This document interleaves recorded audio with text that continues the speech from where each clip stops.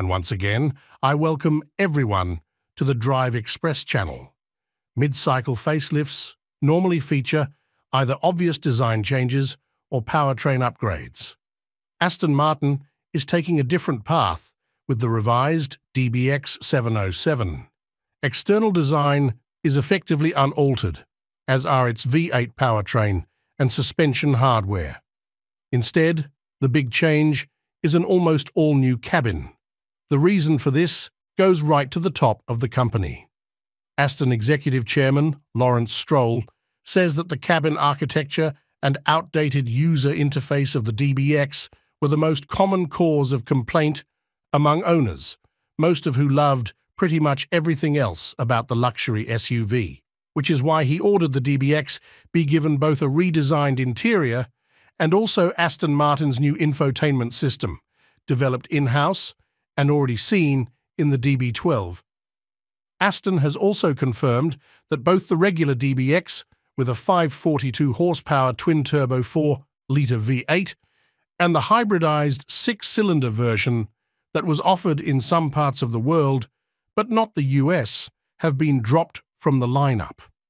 That means the high-performance DBX 707 remains the only available version for the 2025 model year, while the outgoing DBX's cabin was never short on character, it did lack ergonomic coherence. In the pre-facelift DBX 707, it featured the strange combination of haptic climate controls, non-haptic drive mode switches squeezed onto the center console, and gear selection through a row of buttons at the top of the dashboard. It also featured one of the last infotainment systems in the luxury sector, not to offer touch-sensitive control, this running a reskinned version of Mercedes's previous generation UI system that needed to be navigated through a turn-and-click rotary controller. Pretty much every part of the interior has changed with the new car, with restyled door cards, a revised dashboard, and a much more intuitive control layout. The DBX 707 now has a center console very similar to the one in the DB12 and the forthcoming Vantage.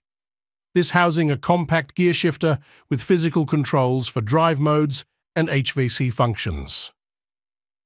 Above this console sits a high-resolution 10.2-inch touchscreen running the company's own Linux-based Aston UX system. The steering wheel has been redesigned with a smaller and more elegant central cap. Connectivity is also improved with support for wireless Apple CarPlay and Android Auto, plus two USB-C ports between the driver and front seat passenger.